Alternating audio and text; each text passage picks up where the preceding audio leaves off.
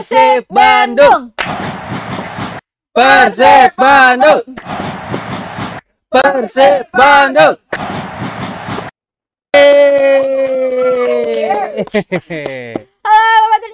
Tribuners semuanya ada di rumah. Bagaimana puasanya hari ke-12 ya berarti? Betul, 12. Hari ke-12 udah 10 hari kedua di Mhm. bulan Ramadan ya. Ya. Bagaimana masih lancar, masih semangat? Lancar, Harus lancar, semangat. lancar. Harus semangat dong karena berjumpa lagi di Persib Update bersama saya Rina Sukmati. Dan saya Risa Ramadan yang tentunya akan menemani kamu dengan tiga informasi terupdate tentang Persib Bandung.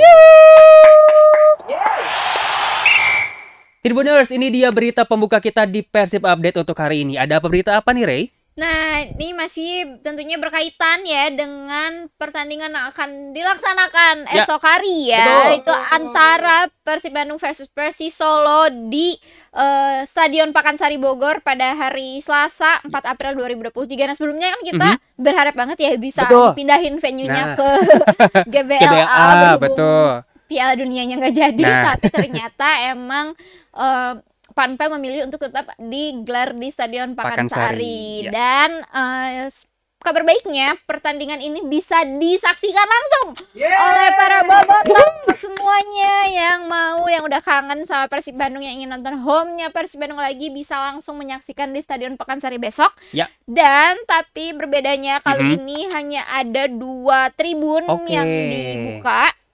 Yaitu ada Tribun Barat Utara dan juga Tribun Timur. Nah, untuk itu harganya untuk Tribun Barat Utara harga itu 150.000 dan untuk Tribun Timur itu harganya 100.000 per Oke. tiket. Mhm. Jadi eh, bagi yang para boboto yang biasanya mungkin nontonnya di VIP atau Mhm, enggak mhm. sekarang eh, belum bisa dulu Ya, karena mhm. hanya dua tribun itu Betul. yang dibuka. Nah, kalau misalnya kalian yang di rumah pengen away nggak away sih ini home yang di Bandung Ya, maksudnya aha. ingin eh, merasakan home di Bogor lagi nanti Mhm. itu bisa membeli tiketnya langsung di websitenya persib.co.id atau misalnya Sip. yang udah punya aplikasinya kan Mhm. bisa langsung beli di sana seperti biasa nanti Ya. kalau misalnya udah dapat tiketnya tinggal ditukerin deh nanti di Ya, hari H betul. di sekitar Stadion Pakansari kayak gitu. Wih, seru dong ya. Berarti Iya. besok ini pertandingan antara Persib Bandung melawan Persi Solo ya. Tentunya bakal dihadiri oleh para bobotoh. So, langsung sekarang dong ya. Langsung cek websitenya persib.co.id, langsung juga beli tiketnya untuk besok kita memeriahkan pertandingan antara Persib Bandung melawan Persi Solo.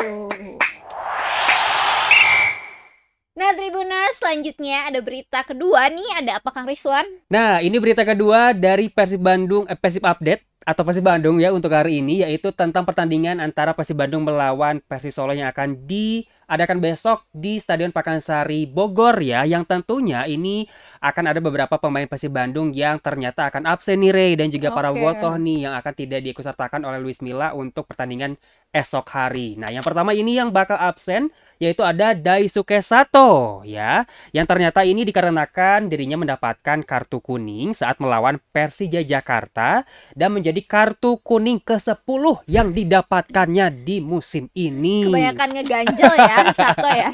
Betul. Nah, selanjutnya juga ini ada Zalnando dan juga David Perumakik juga yang tidak akan dibawa ya oleh Luis Milla besok dikarenakan memang kedua pemain tersebut ini mengalami cedera Masih seperti itu. proses pemulihan ya. Betul, betul sekali. Nah, tentunya juga selain itu ada juga dua pemain yang sangat disayangkan juga ini tidak akan dibawa oleh Luis Milla ya dikarenakan ini kedua pemain tersebut akan eh, bertanding juga ya atau pemusatan latihan juga untuk timnas Indonesia U22 di Jakarta dimulai pada tanggal 1 hingga 26 April mendatang yaitu ada Beckham, Putra Nugraha dan juga Satrio Azhar. Jadi itulah beberapa pemain yang mungkin dikatakan besok akan absen ya bertanding melawan Persis Solo kayak gitu.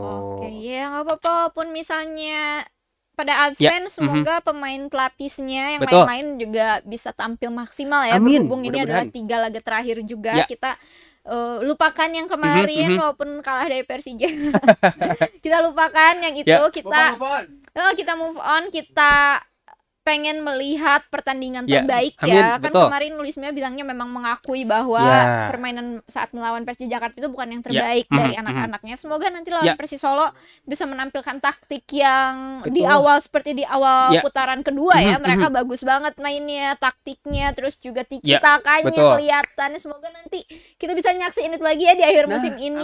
amin, Semangat amin. ya teman-teman Persib Bandung. Semangat.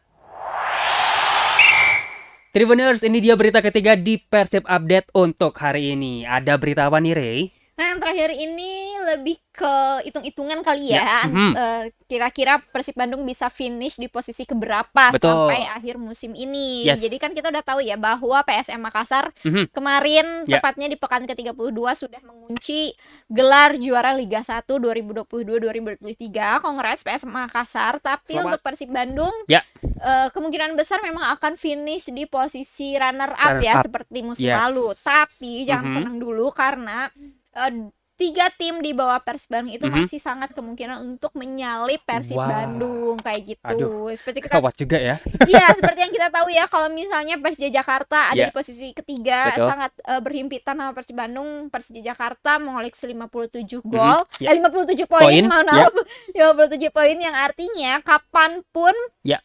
Persija Jakarta Mhm. menang di sisa tiga laganya dan kapan pun Mhm. Persib Bandung kalah di sisa tiga laganya Persija Jakarta anak-anaknya Thomas Doll ini bisa langsung menyalip Menyalip Persib Persib Bandung, Bandung. di Ya. posisi runner up. Nah, Mhm. selain Persija Jakarta nih ada juga kedua tim lainnya yang Mhm. berdiri atau duduk di posisi ke Empat empat dan juga lima, ya. Ada Bali Mhm. United Ya. sama Borneo FC. Nah, keduanya ini sama-sama mengoleksi sejauh ini 51 poin dan masih punya beberapa laga Mhm. Ya. tersisa juga dan keduanya ini sampai pertandingan terakhir di Ya, musim ini mhm, tuh mhm. poin maksimalnya adalah 60. Wah. Jadi kalau misalnya Persib Bandung tidak berhasil Ya. untuk memenangkan tiga laga yang tersisa ini, Mhm.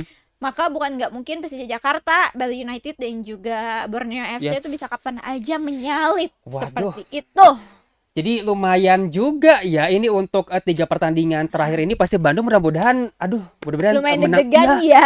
deg-degan juga dan mudah-mudahan juga di tiga pertandingan terakhir eh, pasti Bandung mainnya juga selalu bagus ya biar Iya, terus harus, menang harus. dong. Aduh, biar ada lah biar terkunci ini posisi runner up ya. Iya betul, walaupun kita udah nggak apa-apa pasrah Ya. juara, tapi kalau misalnya Betul. Persib Bandung bisa finish di posisi runner Yes. up ya itu keren banget karena mengingat eh, Luis Mia ini Mhm. pelatih baru juga Ya, dan betul. Datangnya pun di pertengahan musim putaran pertama. Jadi Ya. kalau misalnya emang bisa runner up ya keren banget gitu Yes, kan. betul. Jadi please semoga Persib Bandung bisa finish posisi runner up. Amin. Semangat Persib. Tribuners, itu dia tadi tiga informasi terupdate tentang Persib Bandung untuk hari ini. Jangan lupa untuk mengupdate informasi terkini seputar Persib Bandung lainnya di tribunjabar.id, Ya. tribuncirebon.com, dan juga tribunpriangan.com. Jangan lupa juga untuk like, komen, dan juga subscribe YouTube channel kami di Tribun Jabar Video. Kalau gitu, saya Rena Sukmawati. Saya Risa Ramadan, pamit undur diri di Persib Update untuk hari ini. Sampai jumpa di Persib Update berikutnya. Bye-bye. Bye-bye! Persib Bandung! Persib Bandung! Persib Bandung!